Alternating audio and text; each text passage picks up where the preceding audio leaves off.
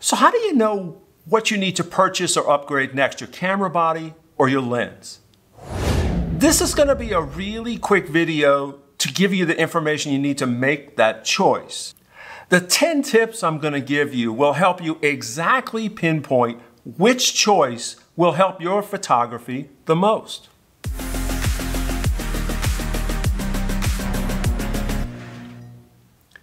To make this choice, the question you have to ask yourself is, what can't you do now or what can't you do well? I mean, if there's nothing you can't do, you really don't need to make a purchase, do you? So if you can't focus in the right spot automatically, meaning that the camera's autofocus isn't delivering focus where you want it to, where you think it should be, whatever, this is a shortcoming in the camera's autofocus system and you're going to have to look at a new camera body.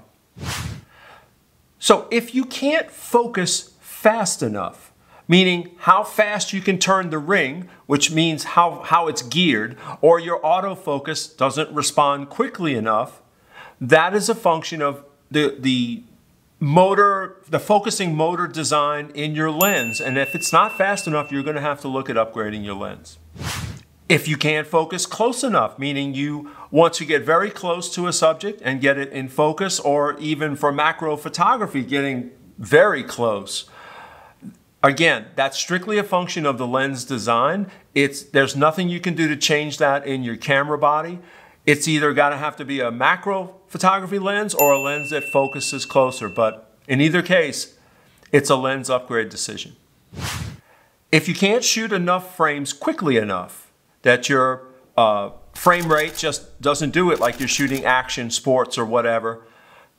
Also, once again, you're going to have to look at a new camera body. There's no way to increase the speed unless you have a camera body capable of a faster speed.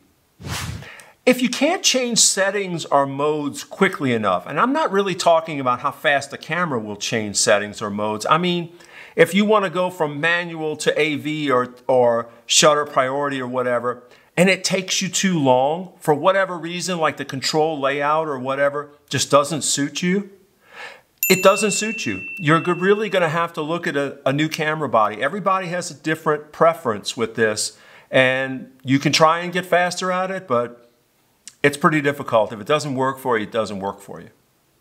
If you can't get the angle of view or perspective, meaning wide or narrow, like you want a very wide landscape shot or you want a very close portrait, if you can't get that with, with your current system, that's strictly a lens issue. You're going to need a lens with a different focal length. Now this one sometimes trips people up. If you can't get an image with the background blur at a level you want, that you it's either too blurry or too sharp. This is related to the f-stop that your lens is capable of.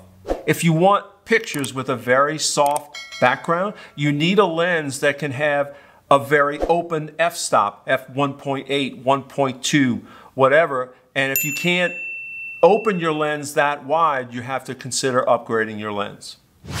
If you can't get good exposure readings, meaning you are intending to do one exposure mode, whether it's average or spot or whatever exposure mode you're doing.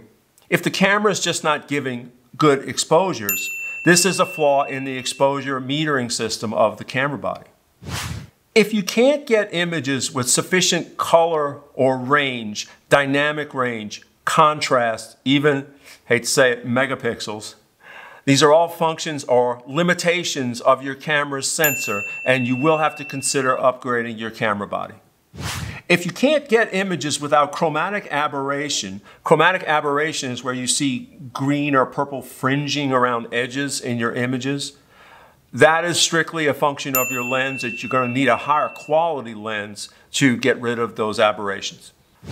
Okay, so that's the objective points that I wanted to make, but let's talk about the intangibles. Each camera, each lens, sort of has its own personality, like the way the controls are laid out on a camera, the way the zoom ring, f-stop ring, or focus ring on a lens. These things either work for you or they don't. They're intangibles that there's no objective piece of data I can give you will matter. You can have the best, most expensive camera system in the world, and if it doesn't work for you, you're never going to make great images with it. If you'd like to improve specific areas in your photography, like fixing blurry photos or getting some inspiration for different kinds of photography, check out the two videos I have linked here. Until the next video, cheers.